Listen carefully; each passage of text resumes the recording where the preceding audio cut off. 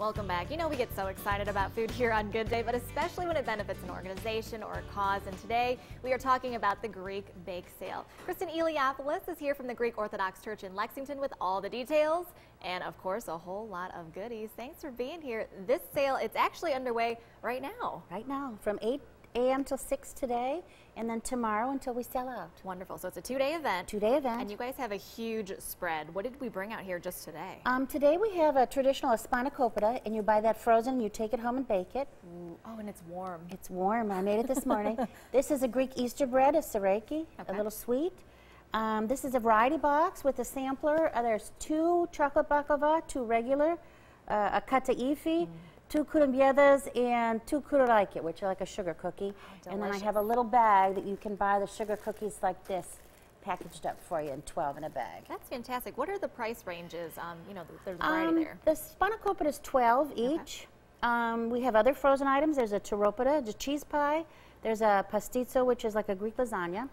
Okay. And um, what we call kotopita, which is a chicken and appetizer, chicken and cream cheese in phyllo, Ooh. a savory. And we have two different sizes of breads and about 16 or 17 different cookies. Wow, that's a lot. Okay, now with the frozen food, is that easy preparation? Like It's Greek fast food. We made it. It has the instructions on it. You throw it in the oven and bake it at 350 till golden brown. Heat it up, good to go. Good I go. like that. What's your favorite item? I do like the spanakopita. Mm, yes. I think we could eat all of it all day long. Yes. Um, but talk a little bit about the history of the Greek Orthodox Church. You guys have been around for a very long time in Lexington. Um, uh, the church was started in 1944. Mm -hmm. Some of the original family members are still here. And they started doing the bake sale here in 1963. Wow. They've been doing a bake sale for 55 years. The ladies started it at Easter.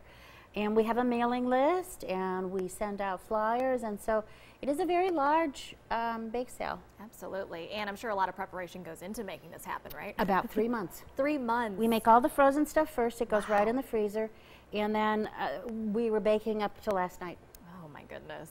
Well, this is a fundraiser for the church, so tell us where the money's going to be going. Now, we have a Christmas and an Easter bake sale, and at Easter the ladies do it. And that's a ladies group called Philoptochos. Okay.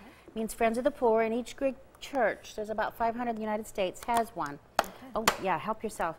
So we will give some of the money to the church, but some of it we give to charity. We give to uh, Children's Medical, we give to local charities here. We help our parishioners. So 40% will go to our church and 60% will go to charity. It's fantastic. I mean, the food's fantastic, and you're helping such a great cause as well. Philoptochos is actually the second largest ladies' women's nonprofit organization in the country. Is it really? The wow. Jewish ladies, the Hadassah, they are the largest. So our presence in Lexington is small, but mm. across the nation we do a lot. It's well known. All right. Well, we want to thank you for being here and